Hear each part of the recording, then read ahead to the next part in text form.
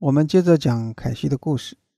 从凯西对轮回转世解读的观点来看，我们每个人并不是被动的啊，照着写好的剧本扮演角色。实际上，我们都主动、积极的参与了我们的每一个生命历程。嗯，第一个是讲报应力啊，就是讲这个报应。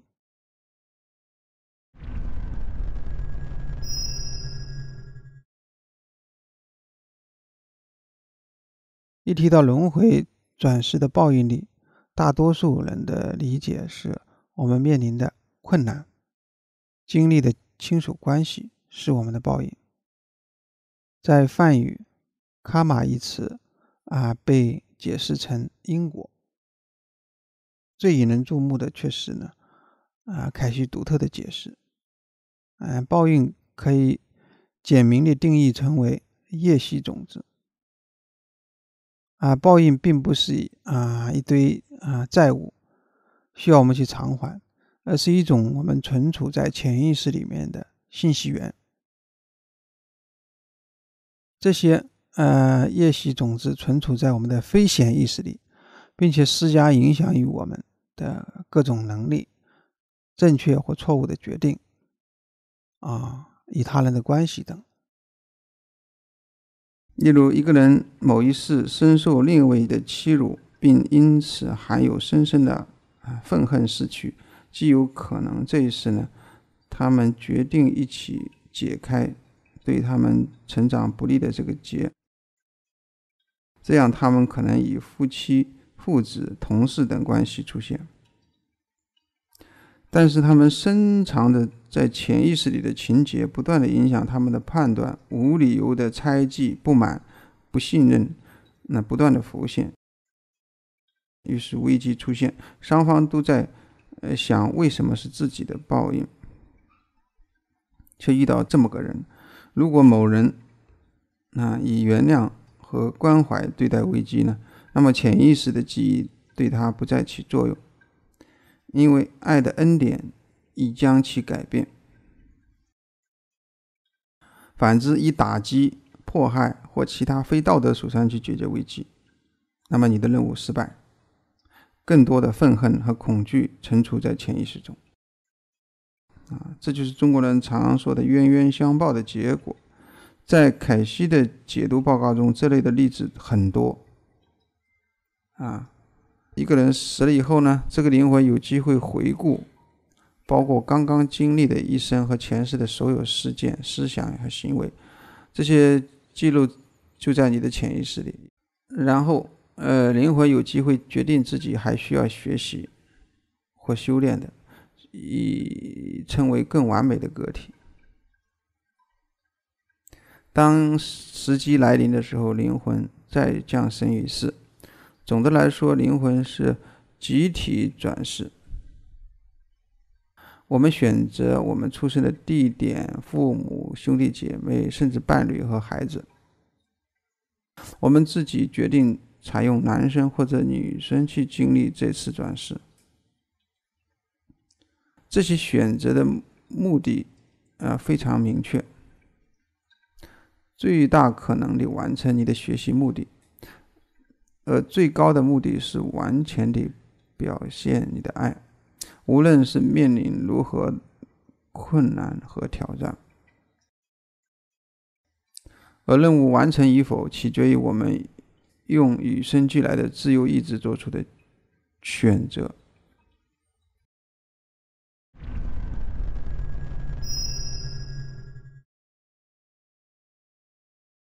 遭遇自我呢？这是。凯西解读中关于人与人之间所谓报应的一个非常有挑战性的概念。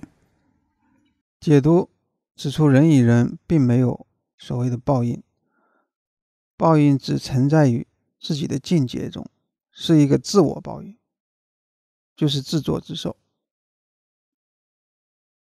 当我们每每遇到让我们讨厌的人的所作所想所说，让我们发怒、生气而奋起反击时，这些让我们讨厌的，往往正是我们自己的一部分。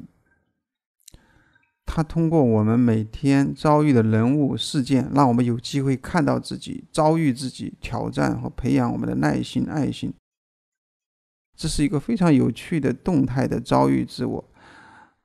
呃，当你某一天看到所有人心中有爱、有佛、有主、有神，那么恭喜得到啊！否则的话呢，下一世免不了还需再走一遭红尘。尽管我们的报应基本上是我们自己的，但是我们却常常为一些特定的个人和小圈子所吸引。这些个人和小圈子是那些最大可能的一些人提供给我们所需经历的环境和关系。这些以家庭关系、工作关系以及文化和社会关系，甚至是民族关系，都是群体转世的现象。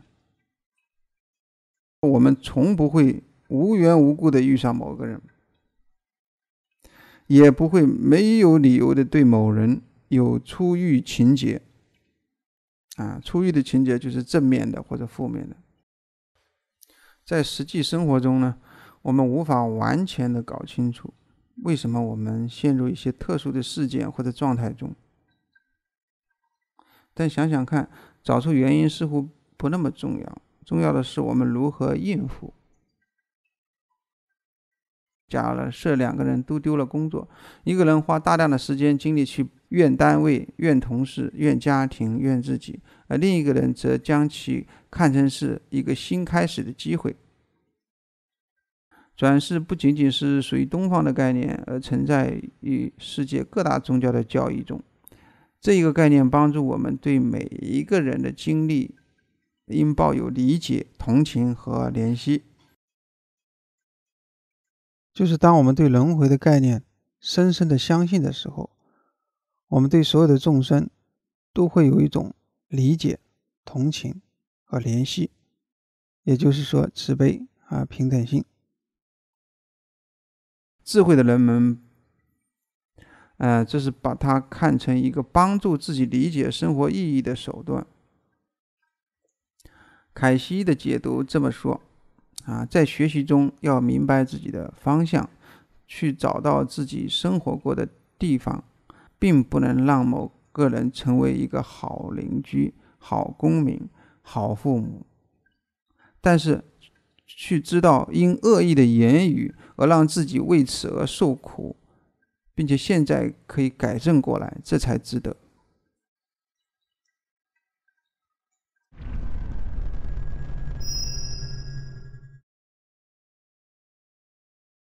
啊，他一生当中治病救人呢，可以说是一个大善人。他曾经做了一万四千多个这样的案例，包括这些议员，包括这些观察人的前世和指点人的迷津，给人家治病等等。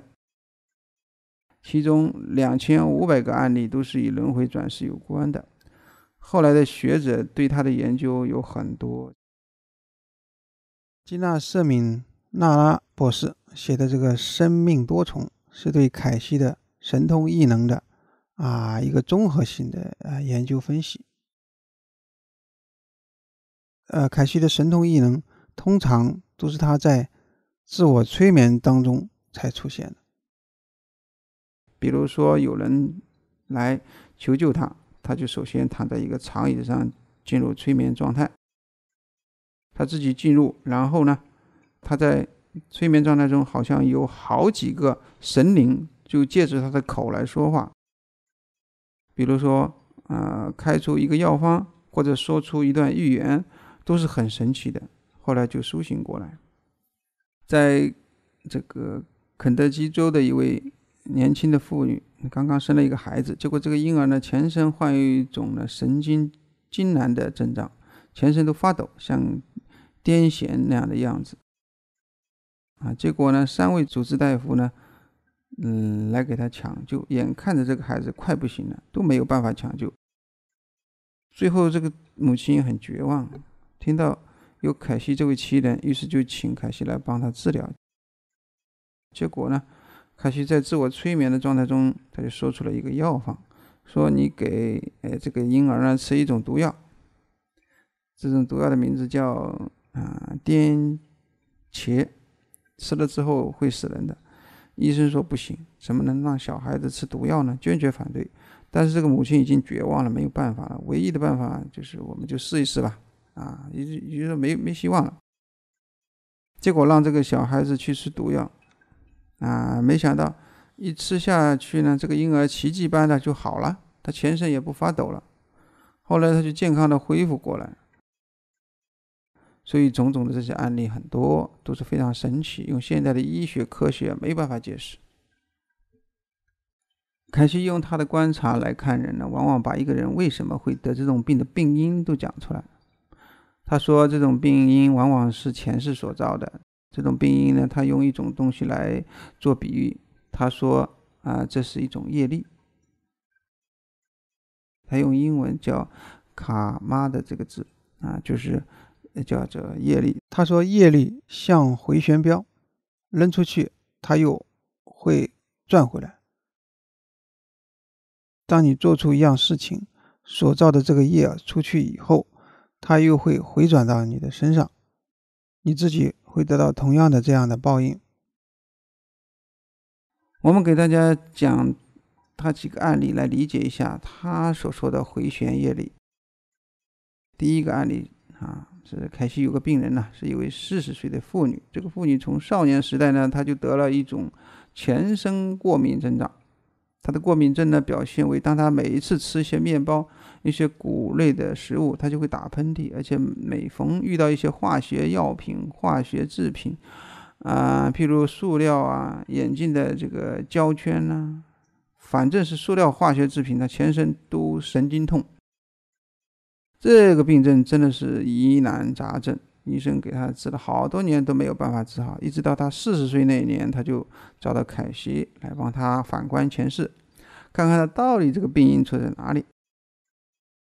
结果，凯西给他观察以后，就告诉他，他这个病是一种业力病，因为这个妇女前世呢是一个搞化学的，就是制造化学药品的人。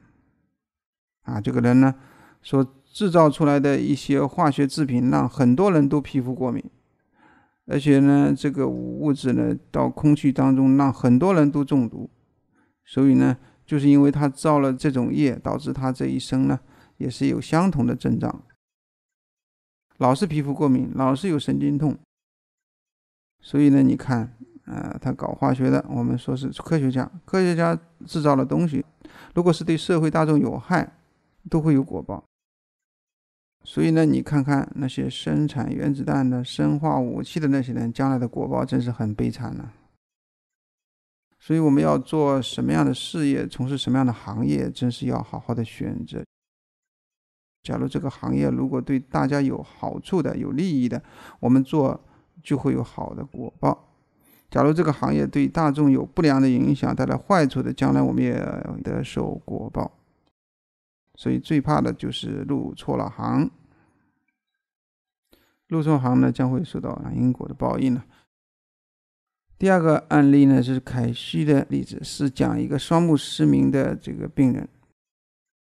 这是一位大学教授，这个人很聪明啊，能够当上大学教授。但是这个人呢，天生的双目失明，残疾人，他也是整天，呃，想治他的病，让他眼睛能够恢复一点视力，啊，都没有办法了。结果后来他在一个广播节目里，呃，听到了凯西的这个事例啊，因为凯西当时在美国是一个很著名的人物了。广播电台都经常的报道他，啊，完了之后呢，他就去找这个凯西了，听他资料。凯西呢也是用自我催眠去看这个人的前世，结果找了好几次，终于找到他的双目失明的原因了。原来这个大学教授呢，在公元前一千年时候，他在这个波斯国，就是现在的伊朗，在那个地方呢。嗯，一个野蛮的部落里面呢，呃，生活的一个部落成员，那个部落很残忍，每天都跟其他的部落打仗的时候呢，抓回来的俘虏呢，就用一个烧红的烙铁来弄瞎敌人的眼睛。这个大学教授那一世就专门的干这个工作，啊，他就是每次用烧红的铁去把人家的眼睛给弄瞎，所以他感应这一生的果报就是天生的双目失明。回旋的于业力啊，造如是因，得如是果，自作自受。第三个案例，有一个少年因为车祸导致脊柱受重伤，让他瘫痪在床上。虽说他的家人也为他进行了治疗，可始终没有效果。当时的凯西呢，呃，已经有了一定的名气了。在知道他的事情后呢，就是男孩的母亲就来找到了凯西，想要凯西帮助他们一家。于是凯西呢，躺在床上进入了沉睡，在梦中，在这个催眠中，哈，他看见这个男孩的前世。他看到这个男孩前世是一个罗马的士兵。当时他们正在迫害基督教徒，而也正是这样的恶行，这才造成了他今生的苦难。于是他开始教导男孩啊如何自己赎罪。果然，没过几个月，啊，他们遇到了一位非常厉害的医生，并且治好了他的瘫痪。